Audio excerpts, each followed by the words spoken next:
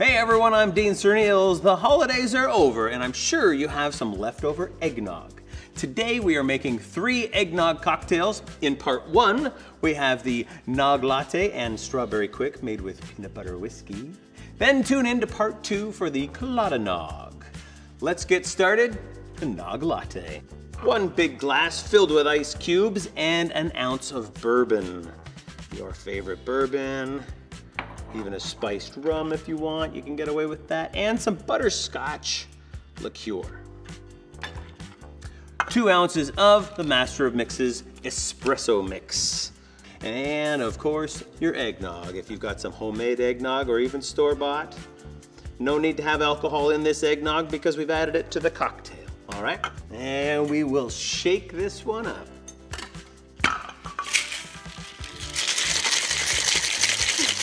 Bringing all that cream and coffee and the spirits together.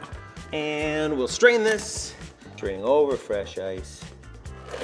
Here is a pinch of coffee grounds and perhaps a little nutmeg. Here we have the Nog Latte. Strawberry Quick is cocktail number two.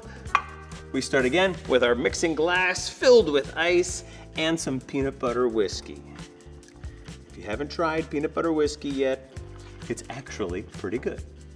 All right, half an ounce of our strawberry syrup, our cocktails essentials, strawberry syrup, real strawberries from California mixed with real cane sugar, and eggnog. Here we go with our eggnog, three ounces of your homemade eggnog or your store-bought eggnog, your choice.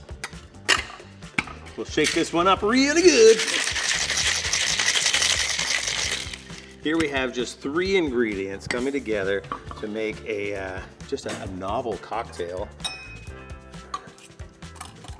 And strain this out. Great froth coming out of there. And we have a fresh strawberry sliced into a little fan cut a little piece on the back there just to make sure that can sit on the edge of the glass. Here's the strawberry quick. Be sure to tune into part two for the Colada Nog.